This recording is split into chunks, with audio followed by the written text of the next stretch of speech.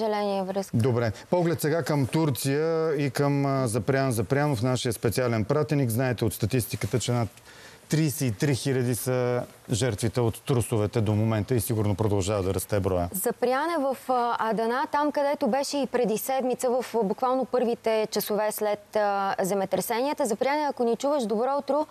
Кажи, добро утро. Кажи какво виждаш, каква е ситуацията около теб. Можем ли да говорим за някакво успокояване е много силна дума, но да, нещо в този дух, седмица по-късно. Или напротив, въпросите стават още повече, скръпта става по-мрачна. И... Слушаме те. Към теб. А,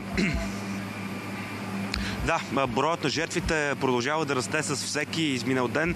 Всъщност хората, които работят на място, сами казват, че на седмия, осмия ден след подобно земетресение с такава сила, много рядко в, техни, в техните предишни акции, в които са участвали, участвали, са успявали да намерят живи хора. Все пак информациите от различни точки на Турция сочат, че е възможно и продължават да се намират още живи. Но да, това е първия град, който посетихме и седмица по-късно се завръщаме тук, като това, което ни направи най-силно впечатление е, че тези багери, които в момента ви показва оператора Ангел Пешков, работят върху терен, на който се издигаха жилищни блокове.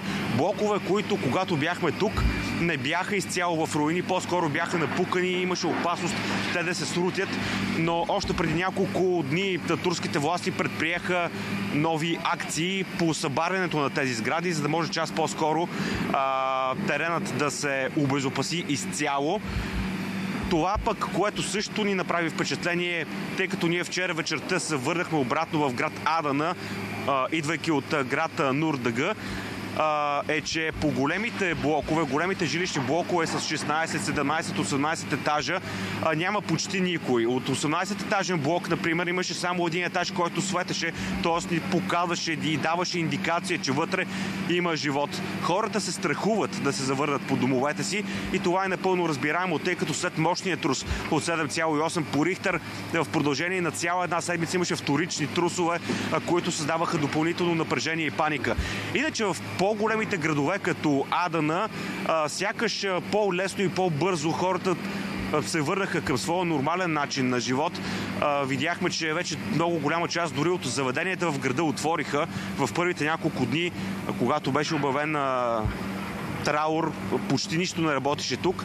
В малките градове ситуацията не е точно такава. Например, в град Нурдага, един от най-призрачните градове, първоначалната суматоха, воят от сирени на линейки и на полиция отстъпи място, но не на нещо друго, а на гробната тишина. И там със сигурност ще бъде нужно много повече време, а вероятно и много повече ресурси, за да могат тези градове да се възстановят като Нурдага, като град Бесни, например, където също бяхме и видяхме много разрушения.